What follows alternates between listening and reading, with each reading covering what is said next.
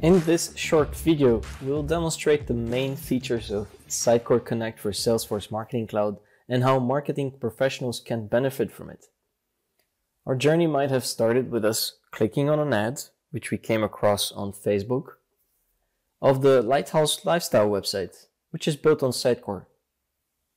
From there, we have landed on the homepage, and after some surfing around, we might have been interested in one of the articles. So we'll go to the article about cycling. From there, we saw the subscribe to the newsletter form and submitted our email.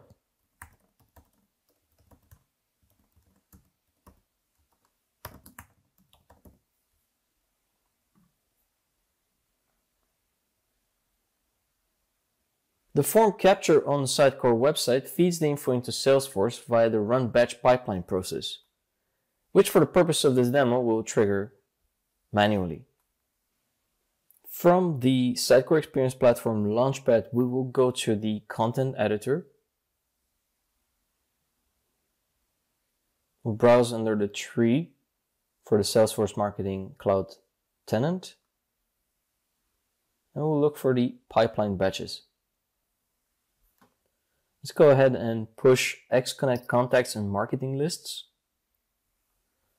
by running the pipeline batch.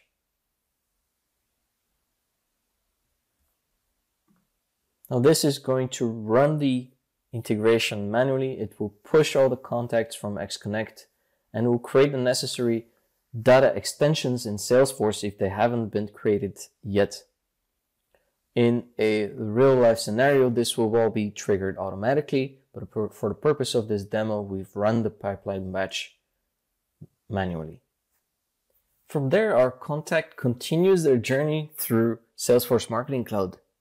For this demo, we have used a simple journey builder lead campaign, which captures new subscribers from Sitecore, sends an initial email blast to the newsletter list, and through the Sitecore sync custom activity, which is set up in this journey builder, we send back to Sitecore that the contact is now in the enter status after the newsletter has been sent.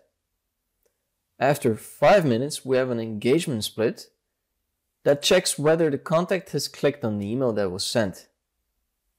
If the contact clicks on the email, we'll send back a new Sitecore Sync custom activity with an updated status to lead.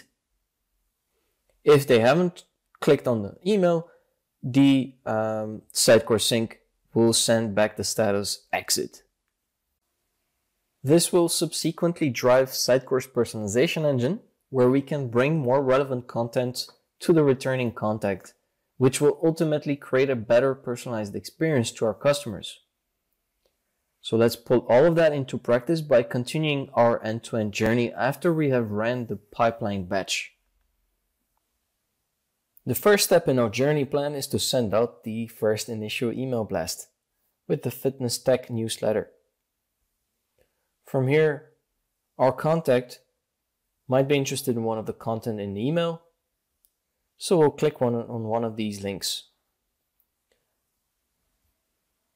And now because we have actually clicked on one of the links in the Fitness Tech newsletter that was sent out by the Journey Builder, our contact should reach the goal and will be sent out through this path in which the Sitecore sync status will be sent back to Sitecore with the tag lead. This will then eh, be able to be used for personalizing our website.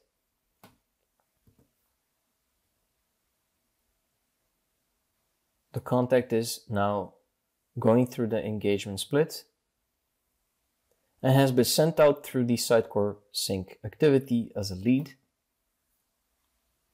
And now if we visit the Lighthouse website again as a returning customer or contact, we'll notice that our banner hero on the homepage is now personalized according to our journey status that was sent from Salesforce Marketing Cloud to Sitecore. Because we were recognized as a lead, our banner is now personalized and we see some relevant Carousel items such as fitness wearables and content related to cycling. And this final piece of the puzzle was done through Sitecore's personalization capabilities, where the homepage hero banner has been personalized. Let's first select the carousel from the homepage. And this carousel, we can, we can personalize the carousel items to show the foodie carousel for people interested in food, to show the sporty carousel or, or the fitness carousel based on the Salesforce Marketing Cloud journey that they're in. And so this rule specifies that if our contact goes through the Lighthouse newsletter sign up journey from Salesforce Marketing Cloud, and they're in the lead state, then we'll show the components in the carousel relevant to fitness content.